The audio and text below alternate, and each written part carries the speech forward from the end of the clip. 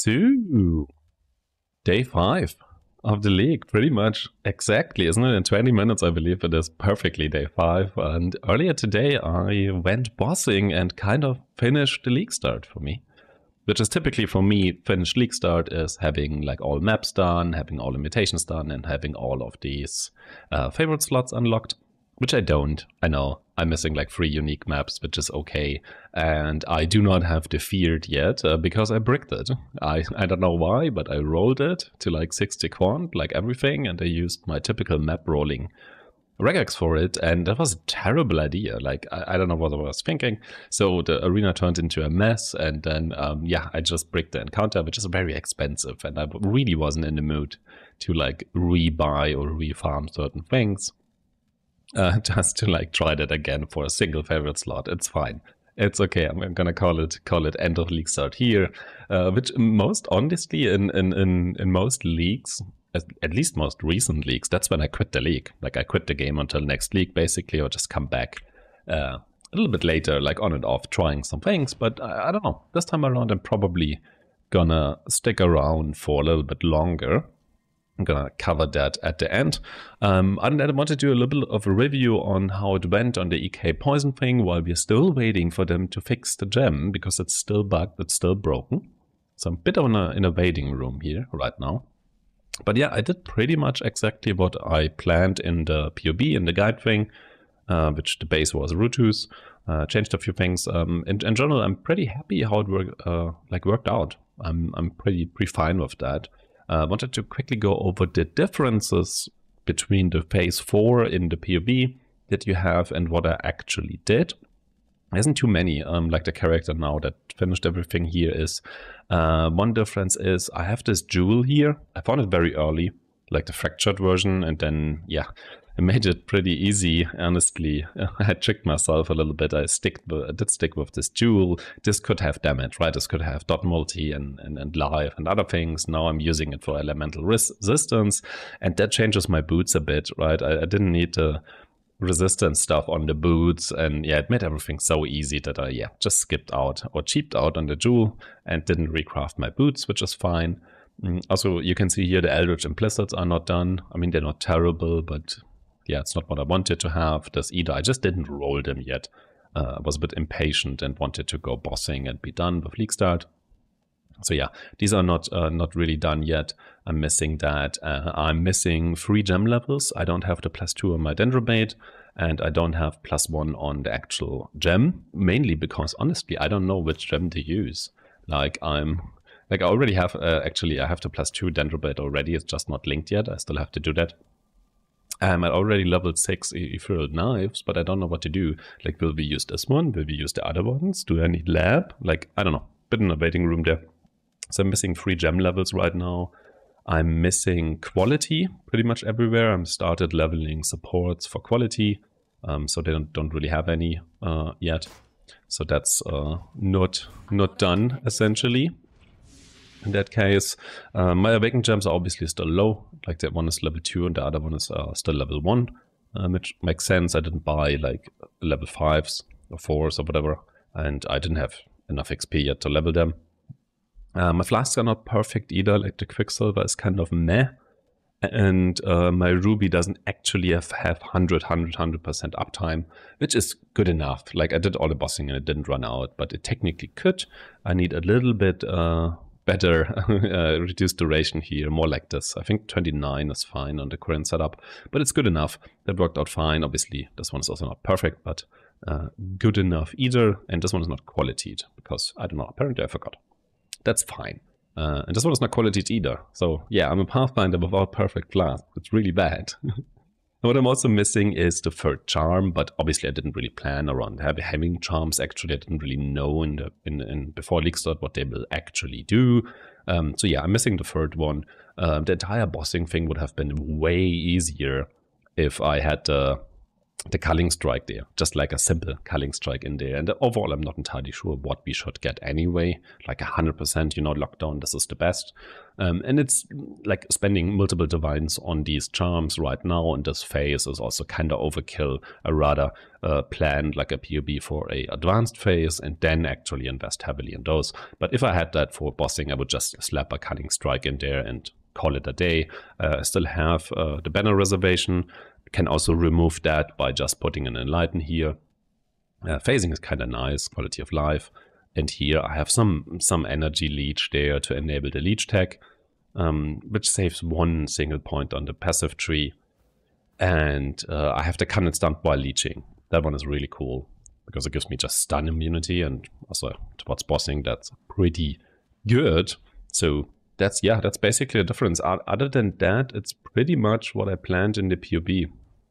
Like there's no didn't de deviate too much from what I wanted to do in that.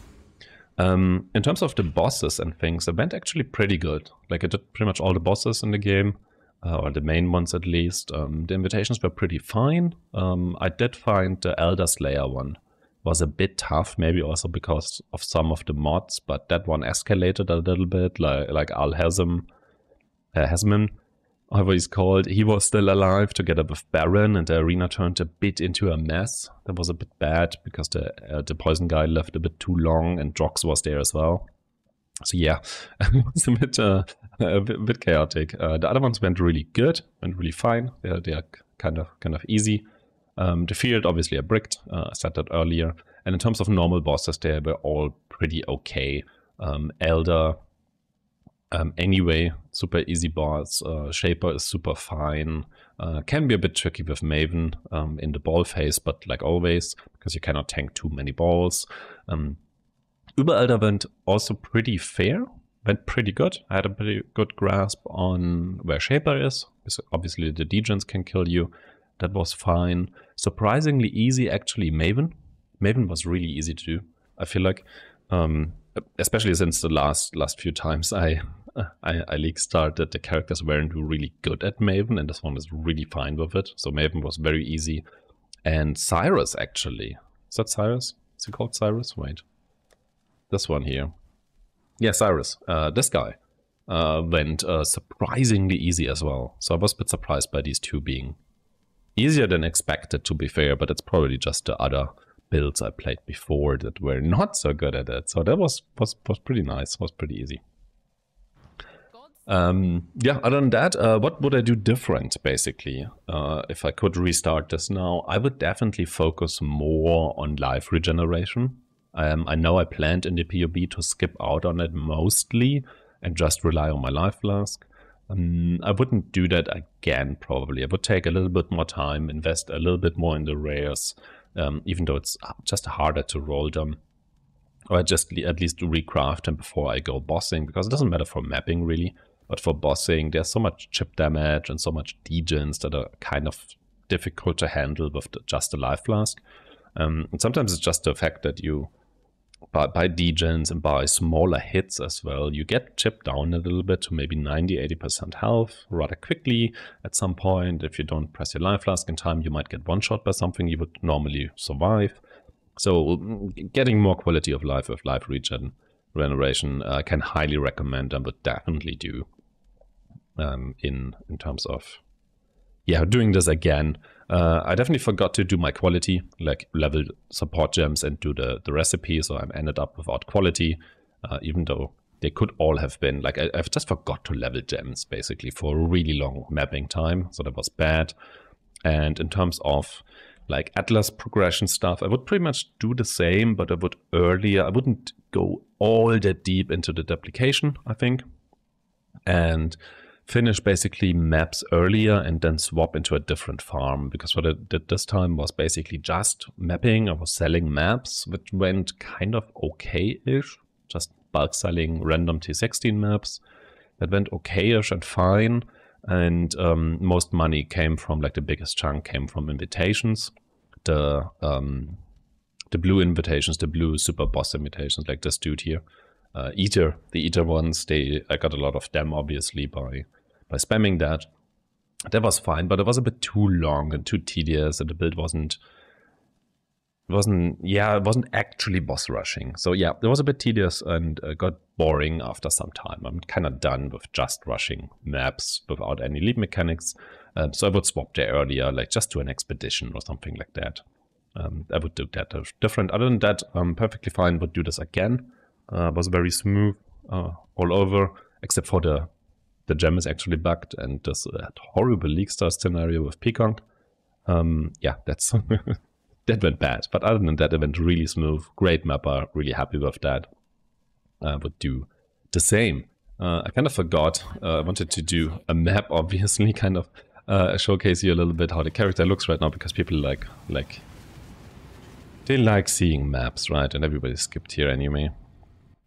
Uh, just state of the character. I mean, it's, it's a random T16. I don't know what's on it, but I know I rolled it earlier. Like it's nothing, nothing crazy. It's like a super simple map, uh, just to show you a bit how it works. So you basically have this thing here still that can pretty much one-tap uh, most packs, like even the blue pack here dies, uh, which makes it pretty easy. Reminds me of Frostblades a lot, especially since the uh, range is so weird right now and we're kind of melee. Uh, you're rather zoomy, especially with the automated flasks. It works pretty fine. Stuff like this you have to, have to hit a few times, but then you can also walk away, right? Trust your poisons. You can kind of do this. And you can also just uh, activate your Plague Bearer and just run through a lot of stuff, but I don't know, I kind of keep it for... Um, I like this, this stutter steppy playstyle, right? Like shield charge, shoot a pack, and then shield charge again. Like, like this one here, Especially got by now it got to a point where I just have to one tap and that's that's pretty nice. Like here, one survived, right? Fine, that's okay. Uh, Xang, for example, as comparison, has like just just better clear in terms of stragglers. Because it chains like so far. And then for bossing, I mean, it's nothing hard here. You put down your totems and you activate this thing here, the Plague Bearer, and then you shoot them a while, right? And then you can, can also just stop, they're already dead. Or you shoot them longer. Why are there more? Oh, I have the destructive player. I kind of forgot. So yeah, single target isn't the greatest.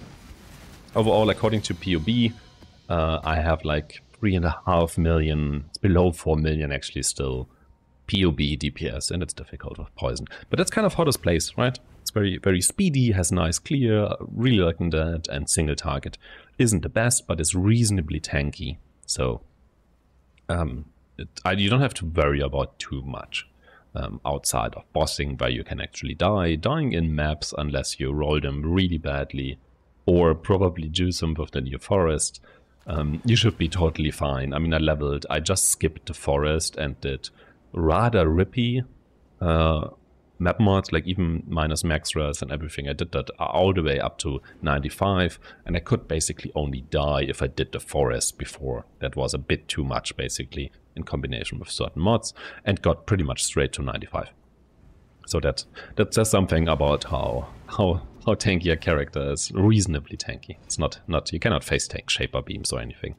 Uh, that not. What's next? It's a good question actually. Um, waiting for a fix on the skill gem is definitely uh, something I want to do.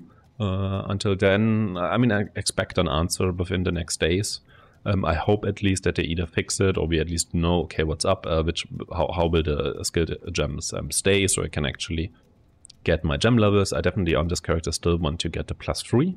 Just need to decide on the skill gem and need to link my Dendrobate, um, complete basically a phase four, and then I'm gonna have a look later at uh, Pure being like an actual end game version, like maybe um, a Mahuk version that is the um, the ultimatum shield shield, right? Because I really like ultimatum. It's such a cool thing. Um, I just don't want to do the mechanic, but instead we can just use the shield and act like we did something with the new ultimatum, but I, am not gonna do the actual mechanic. So that one is interesting, or I'm just gonna possibly go just for a Rutus version, you know, with the double dagger craft, something like that. Something towards dot cap, uh, working towards a Nimbus maybe. Depends a bit how long um, I'm actually interested in the league. And also depends if I find a cool farm. And for that, I would like to try something with the league mechanic. Um, like this juicing a map and doing something. Uh, Expedition is probably a target, um, even though I'm not entirely sure if I'm interested outside of League Start, uh, talking to Tujen and all that. So mm, maybe not. I've heard somebody on, on, on, on stream mentioned that they're doing Blight. That might be really cool. So, and I haven't really done Blight as a major farm in a long time. So I might uh, might give that a shot, right? So yeah, basically find a good farm because I'm gonna need actual currency now to make an endgame build and I'm pretty dry. I have a few divines left. I have more to sell, sure, but um, I need a constant, constant proper income of money in order to afford a, a super endgame build. So I need to look out for that, wait for the fix. Once that's there, POB a full endgame version. And then, yeah, uh, work towards it. Um, however, that's been five days of a lot of gameplay, like really a lot. So I'm definitely going to slow down um, since League Start is over for me. That's it. As I said earlier, typically I quit at this point and just let it be, touch some grass.